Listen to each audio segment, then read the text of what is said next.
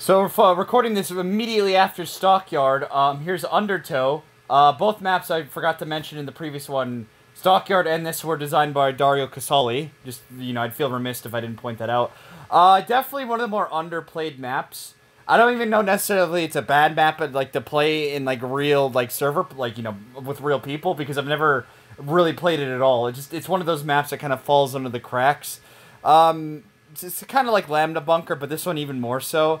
Um, I can't imagine it being bad though, because you know Dario Casali's track record for literal like the actual gameplay of a map is usually pretty good. But I do know a few th- interesting things about it. I'll point them out.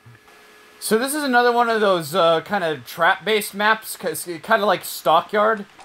Um, except this one has one that's really effective if you know how to use it. I'll point it out. So here's the central area, which is uh, symmetrical in a way. Almost symmetrical. In fact, I think it literally is. Besides, yeah, I think it's symmetrical. Go figure. Um, and the thing is, on both sides, throughout the hallways of the map, you got these conveyor belts here that can make you go really fast down and like really mess with you in the heat of the moment if you're trying to move, like avoid attacks. So be careful. You can get some windows, you can use as shortcuts to jump out, stuff like that. Here's that other entrance. Uh, it's not symmetrical map in the sense of, as you can see here, the hallways diverge and like, you know, where they go and stuff like that. So it's really just this area right here. And obviously the, we'll start at the top of the map. This, uh, you can't... once you like you can ride this down throughout the whole map, the undertow itself, if you will. So if you go over here, this bottom area, the very back area, you got not much of note. A lot of the items are towards the bottom. That's not to say there isn't interesting stuff to find in the up here though, because there's some explosives. Uh, this side you got claymores, which if you're good enough, you can actually chuck over there. So keep that in mind. You can go down here. This door at first doesn't look like it's going to open, but you'll see the secret to it in a second. So coming back this way, if you were to go this way first, the I believe there's claymores aside, not satchels. If I called that a claymore earlier, I'm sorry, that's a satchel. Um, see this though, this is interesting though, because if you take the ladder up, you'll get to the top of this little machine, if you will. And it might not look obvious at first, but if you wait a, quite a long time for the spinning thing to go all the way around, you can jump in and get the Gauss here, which is always good. I mean, sorry, the Egon. Still getting that confused, and then you can get back out. And I do believe that is the only way out of the thing here. So I think it is possible to jump from here into the rundown. And you can have some interesting combat here. Uh, don't stick around too long. You can get an RPG. You ideally want to keep moving because, you know, there's probably going to be a lot of people firing at you. I don't believe there's anything in note in the water. No. And then you get to the bottom of the map here, which I'll show off real quick.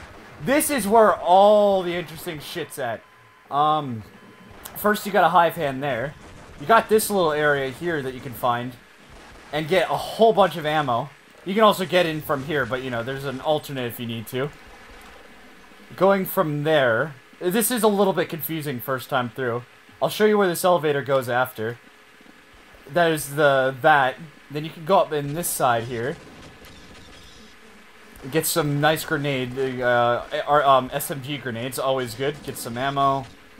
Walk across here to get the shotgun, which it can be very effective though. You'll want to stay, you know, kind of on the edges here. So it's not quite as good as you'd hope for it on like a, a map this kind of Cramp, but still, it's good. Don't discount it. Get a crossbow, snipe here, or get back out and snipe over there. Just snipe. Get a long jump, which is always real good. And then there's this area where if you grab the RPGs from earlier, you have a good way to dominate some people. You can use the long jump to get up here, which doesn't really have much besides the SMG. Which, I say that, but then if you had the grenades from earlier, it actually can be very effective. So now, with all that said, let's check this out right here. That elevator to the top here. And I'm going to press this in a second because I want to show off what the rest of the map's like. This leads into the long corridor from earlier. And then there's this upper area, which I failed to point out earlier. Where you can get the revolver, which is a great sniper here or anywhere, either here or the room. Regardless of which of those weapons you pick up, uh, use the snipe abilities here to your heart's consent especially in these long hallways, the sniper is better than the sniper weapons are better than you'd think. Especially if people aren't paying attention and they accidentally land on the conveyor belts and try to move. Really easy to pick them up. Pick them off, I should say. You can try to pick them up. I don't know how well that'll do for you, but still. Just wanted to see. I don't think I missed anything. Like I said, most of the action is in the bottom part here. Well, I say action, I mean items. I'm sorry. I'm a little bit tired. I kind of rushed into this. I apologize. So now I'll show you what happens uh, if you press this. Probably the most devious trap in the original 8 multiplayer maps. Because this doesn't just last for a bit. This right here, I think, locks every single entrance. I, I in the in the bottom part, it doesn't log do anything up there because you can still hear hear people firing. But once you're down down in this bottom area, you're basically screwed. Unless you know someone gets up here, of course.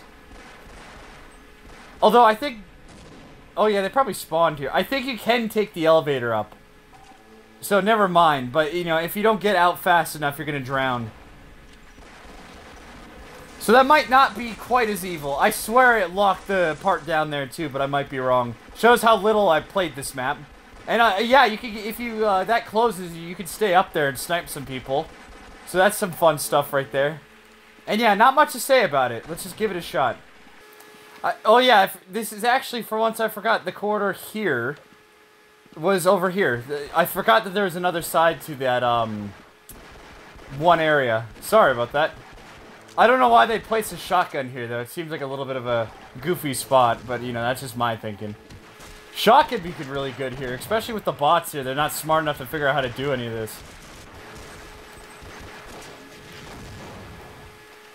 Yeah, I wouldn't normally recommend firing a rocket launcher in a moving like river like this, but hey, you know, to each their own. Yeah, so you can get some insane... You can rack up some insane kills if you got the grenades for that here. Undertow is good. I like this map. And with that, I have uh, made a video on all eight of the original Half-Life Deathmatch maps.